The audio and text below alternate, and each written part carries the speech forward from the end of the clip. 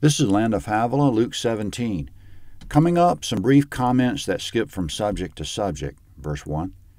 He said to the disciples, It is impossible that no occasions of stumbling should come, but woe to him through whom they come. It would be better for him if a millstone were hung around his neck and he were thrown into the sea, rather than that he should cause one of these little ones to stumble. Comment, we shouldn't expose anyone to evil, especially children. Matthew 18, 5 and 6. In Genesis 3, Adam and Eve were innocent, but the serpent exposed them to evil, and they fell for it. Afterward, Adam and Eve were redeemed, but not the tempter. Quote, the devil who deceived them was thrown into the lake of fire. Revelation 3:10. Woe to him who causes another to stumble. Verse 3. Be careful. If your brother sins against you, rebuke him. If he repents, forgive him. If he sins against you seven times in the day, and seven times returns, saying, I repent, you shall forgive him.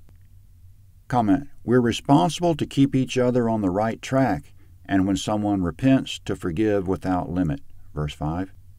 The apostles said to the Lord, Increase our faith. The Lord said, If you had faith like a grain of mustard seed, you'd tell this sycamore tree, Be uprooted and be planted in the sea, and it would obey you. Comment We all want great faith, but Jesus said we only need a little faith to work wonders.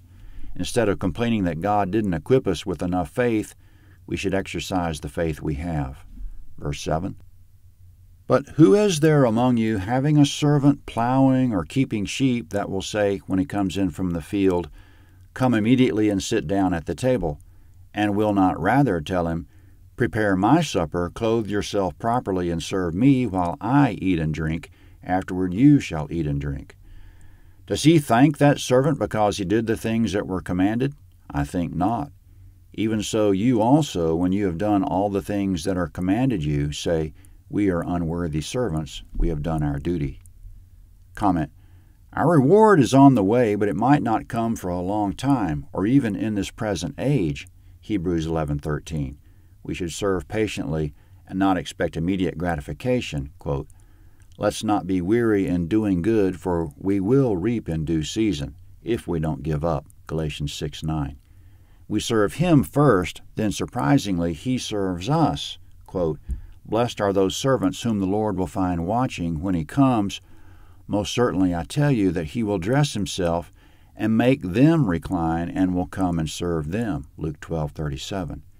And Hebrews 10:36 quote, For you need endurance so that having done the will of God, you may receive your promise. End quote.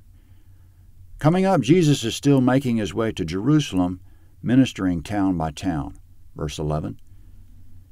As he was on his way to Jerusalem, he was passing along the borders of Samaria and Galilee.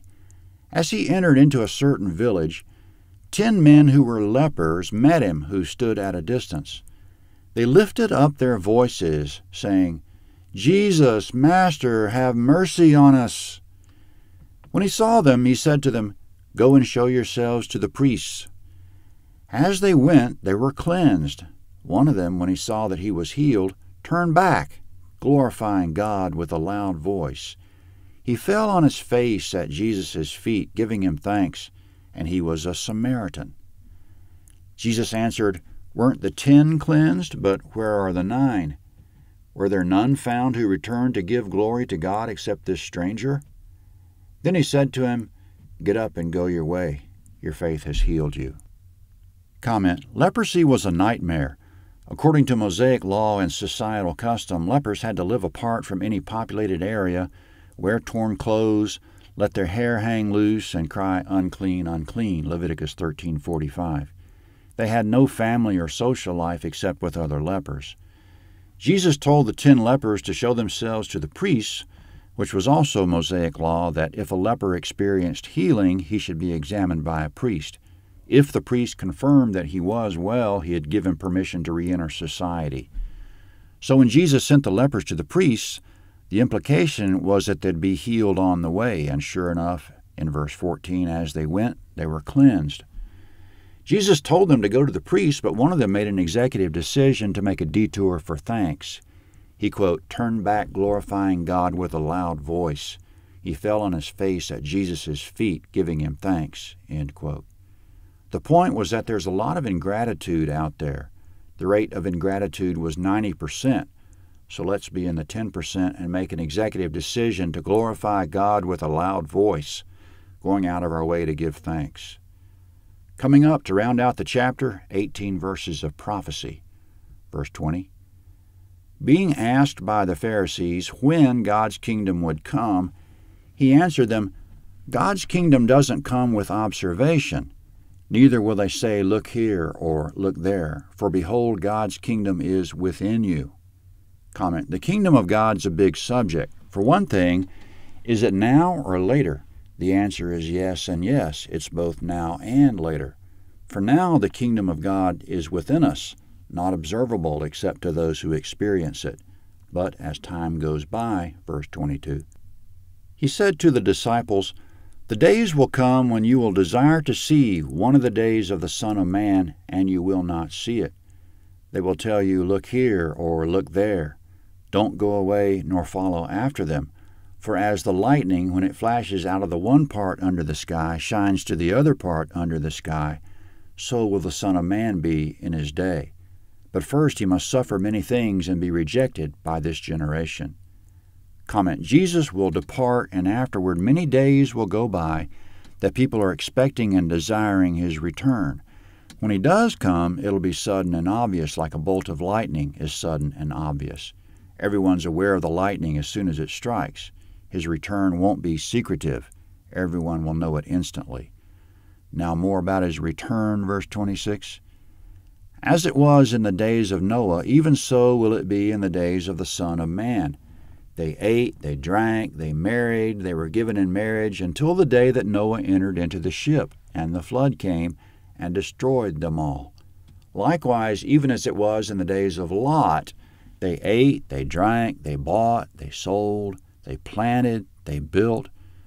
But in the day that Lot went out from Sodom, it rained fire and sulfur from the sky and destroyed them all. It'll be the same way in the day that the Son of Man is revealed. Comment God told Noah he'd flood the earth. Noah preached it, 2 Peter 2 5, but only his family listened. The flood didn't come for a long time, so long that no one expected it it caught the vast majority off guard. God also destroyed Sodom suddenly.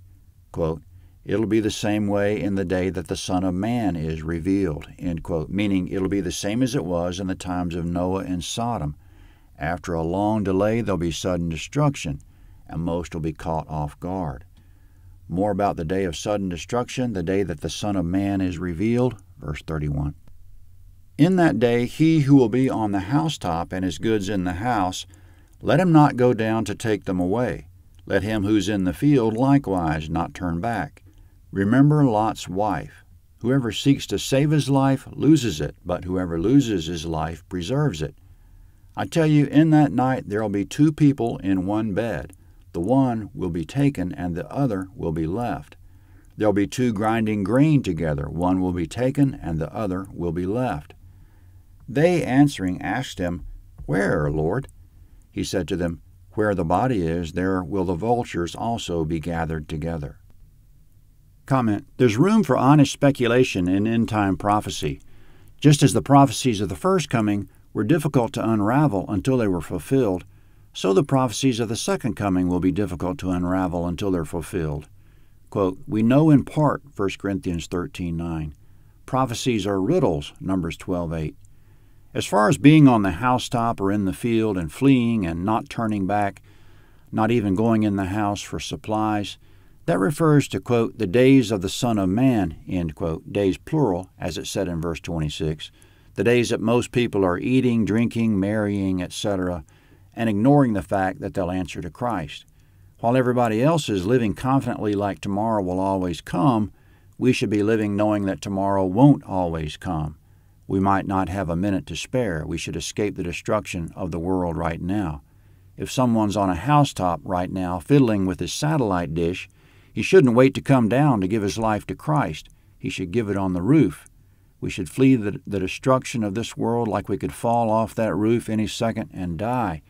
or flee knowing that Christ could come back any second. We shouldn't pass go, collect $200, or go back in the house for supplies, open the refrigerator one more time. We should repent and commit our lives to Christ now. We can't live like there's no end. In verse 32, he said, Remember Lot's wife, which comes from Genesis 19:26. She looked back and became a pillar of salt. She didn't make escape from Sodom her priority. She set her mind on her past life rather than being single minded about escape. We should be, quote, forgetting the things which are behind and stretching forward to the things which are before philippians 3.13 we should leave behind this world which is so much like sodom in its wickedness. Why should our affections be caught up in that? In verse 30 there'll be a day that the son of man will be revealed. Presumably it'll be as he already said instantaneous like lightning flashing instantly from the east to west. So very interestingly he specifically said it would be day in verse 31 concerning the man on the housetop, and night in verse 34 concerning the two in bed, which confirms that Jesus knew about the round earth, that while it's day in one place, at the same instant it's night in another. At some point, Christ will return in the clouds. Is this the same day that he'll reveal himself to the world, or will he just come down to the clouds, collect the believers, and do a U turn with them to the heavens and reveal himself to the rest of the world later. Believers in the graves will be caught up to meet the Lord in the air, and believers who are alive and remain will also be caught up. 1 Thessalonians 4:17. John says several times that this will be on the last day, as in quote, "This is the will of my Father who sent me, that of all he has given me I should lose nothing, but should raise him up on the last day." John 6:39. But what does last day mean? Is it the last day to participate in the rapture, or the last day before he returns to take the throne during a millennial era, or the last day before he destroys the heavens and the earth? Is it all the same day or separate days? But for the ones taken, the disciples asked in verse 37, Where will they be taken? Jesus answered, Where the body is, there will the vultures also be gathered together, which is cryptic.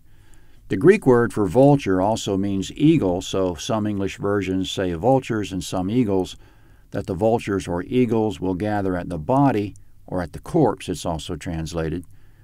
What could this indicate but that the bodies of believers will be gathered to the risen body of the Lord Jesus? But there are other interpretations.